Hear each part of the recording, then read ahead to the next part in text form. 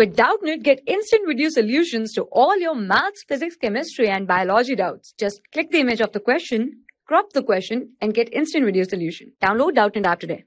The question is a converging lens is used to obtain an image of an object placed in front of it. The inverted image is formed between f2 and 2f2 of the lens.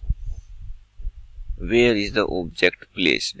So, for better understanding of this question, we need to draw the diagram.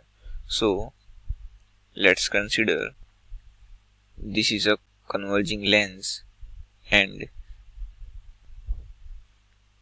this is the center line. This is the optical center.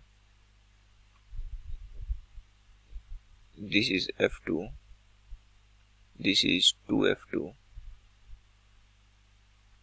f1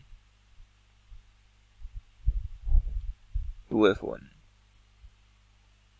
so according to question the image is formed between the region f2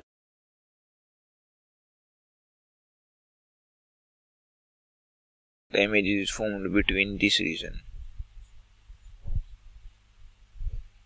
and we know that if the image is formed inverted between f2 and 2f2 then the object should be placed at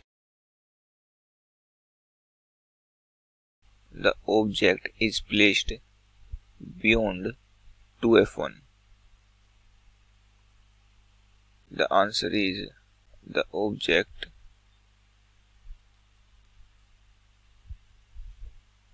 should be placed